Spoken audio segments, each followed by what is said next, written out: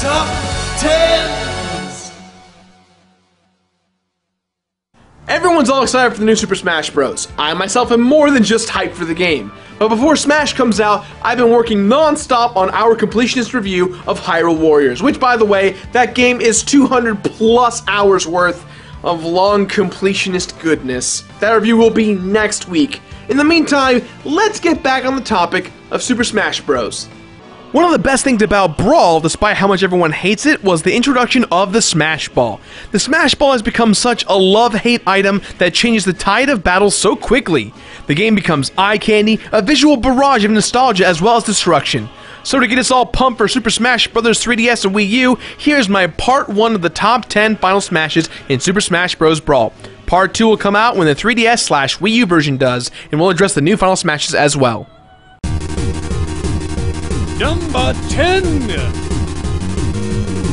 I put the Landmaster Final Smash from Fox, Falco, and Wolf on the very bottom of this list because I appreciate what it does, but this one actually kind of bothers me a lot. This Smash is the one that, after releasing, everyone in the room lets out a large collective sigh. I like the idea of taking up the whole screen, the barrel rolling, and the firing of the cannon, but what drives me crazy is that flying off the screen death. That's always the one thing I hate about this Smash the most. But I gotta give it props. It's very cool. Unfair. It's unfair. Number 9!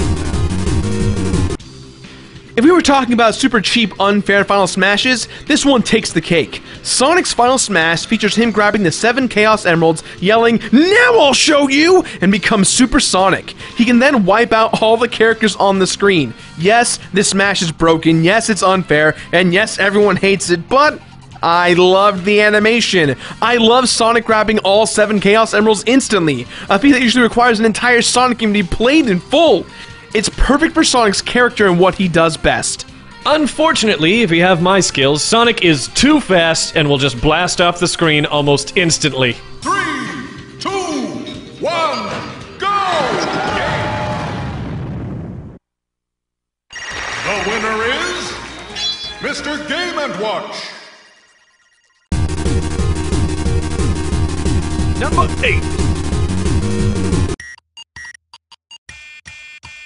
I've never owned a Game & Watch, but I did have a lot of those Tiger handheld toys, so I have a vicarious relationship with Game & Watch. And I can't help but laugh when Mr. Game & Watch turns into a gigantic octopus.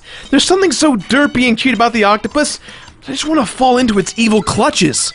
Almost as much as you want to fall into the bacon. Fall into it. Fall into it. Fall into the bacon. Number 7. Kirby has always been one of those characters that I haven't really explored or gotten into. I've only played one Kirby game, and that's Kirby's Dream Land. You all saw that review. Hopefully. One or two of you. I see those hands. In any case, King Dedede as a villain is really funny. His duck beak, his big belly, and large hammer always make me realize that a villain is allowed to be just as silly as our hero sometimes, and his final smash is evidence of this. Take a look.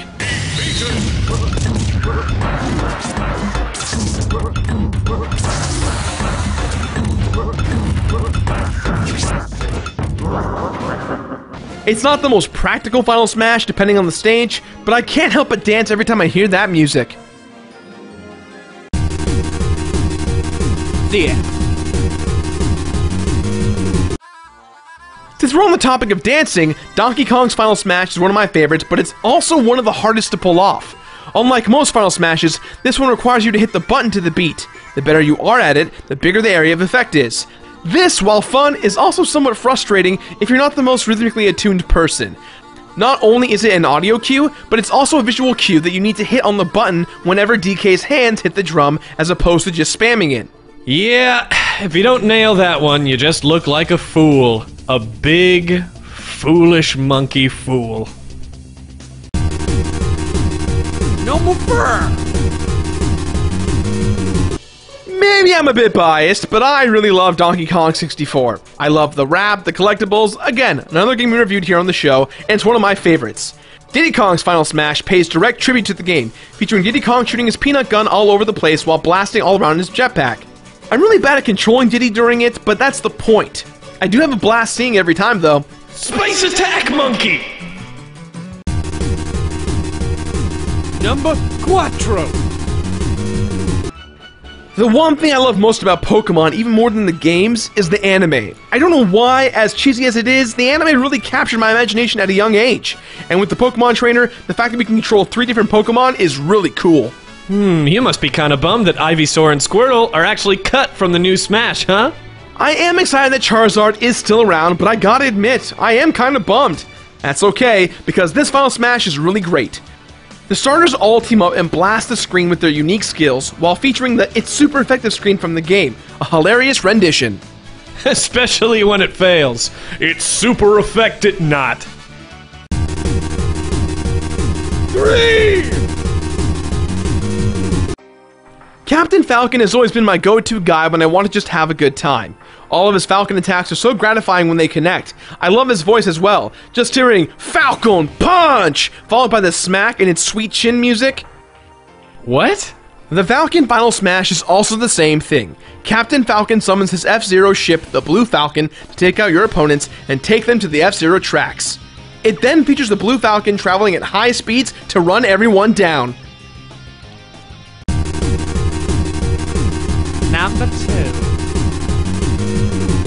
Alrighty, so I have to admit this. Samus is my main. Samus, Samus, I don't care how you pronounce it. I love her, and I love how she handles. Why don't you marry her? And her final smash is so perfect. Taking up the entirety of the screen, a gigantic beam starts out small and suddenly becomes ridiculously large. And you can move it too, depending on how your enemies try to run.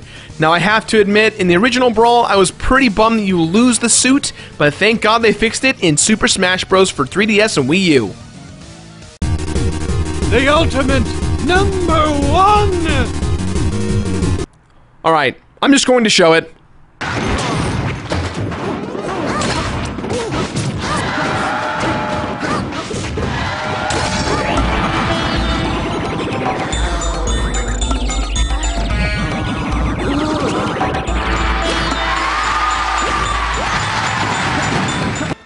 It's weird. It makes no sense. It does different effects to different characters. It plays some stereotypical Middle Eastern music, and Luigi's poke does way too much damage. It makes no sense, and it's just all crazy. And you know what?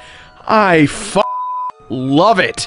It's too funny to not unleash this. Luigi's reputation in the Smash games has been entertaining, as he's just been spiraling out of control into the bizarre land that Luigi dwells in.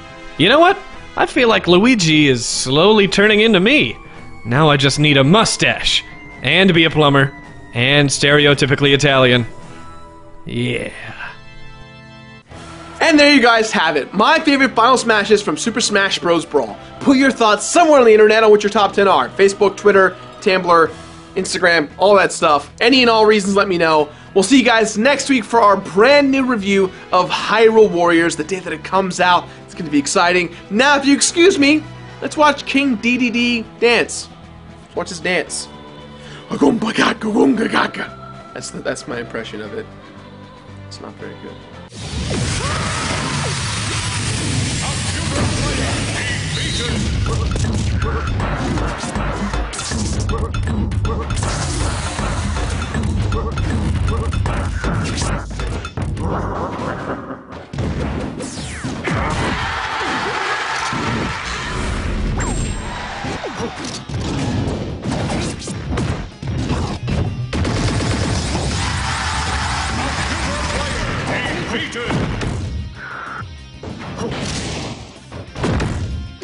What?